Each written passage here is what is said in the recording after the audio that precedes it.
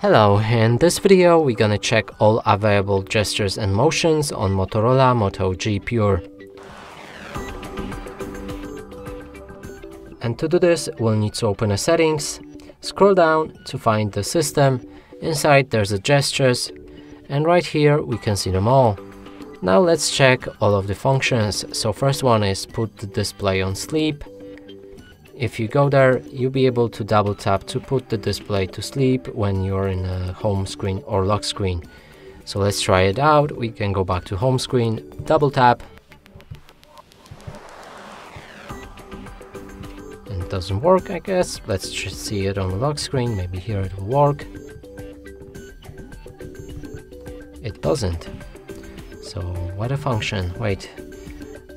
I'm gonna make sure that it's on. Yep, it's on. Not sure why it's not working, but as you can see, it doesn't. Okay, let's move on. Next one is a swipe fingerprint for notifications. And here on the back you can find the fingerprint sensor on this device, so if you swipe it down like this, you should reveal the notification tab. It works fine, Next, next one we have the double press power key and with it we can launch the assistant or camera. Let's use the assistant and uh, double press the power key to do that. And as you can see it works fine. Now let's move on to the next which is system navigation and right here in this video I'm gonna skip it as uh, it's a kind of different uh, thing than gestures and motions. So here's one-handed mode and if you enable it, you'll be able to put the notification bar in the middle of the screen so that you can access it with one hand much easier. Prevent ringing and if you enable it and put your phone, oh okay that's a different thing, so press power and volume up key together to make your phone on a vibrate or mute mode. And I'm gonna choose the vibrate or actually let's go for the mute and uh, click on the power key and volume up at the same time. Here you can see that it changed just to silent mode. Next one, here we have the attentive display. Click on it and okay, my phone just froze. Attentive display, prevent the screen from dimming or going to sleep while you're looking at it.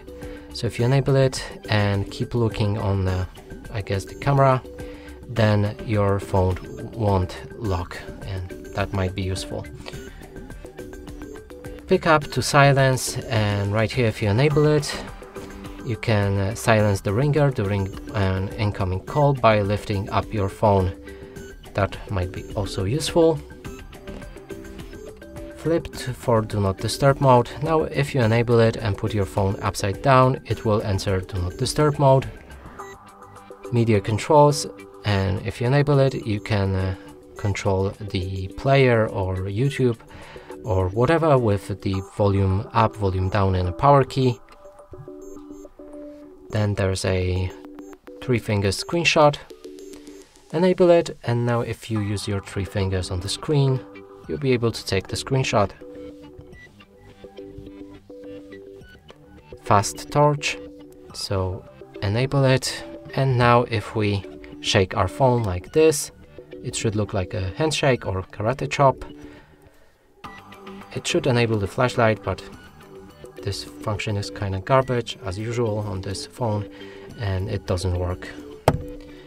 But maybe you can try it, you can make it work, I don't know. Uh, swipe to split, so if you perform swipe like that, you'll be able to split your screen in half, so you can get one app on the bottom and another one on the top. Let's try it out. So it looks like this, and as you can see, it works fine. Last is a lift to unlock, and now if you lift up your phone in a grip, it should uh, unlock or wake up your screen. And that's it for this video, hope you like it, please consider subscribing to our channel, leave a like and a comment below.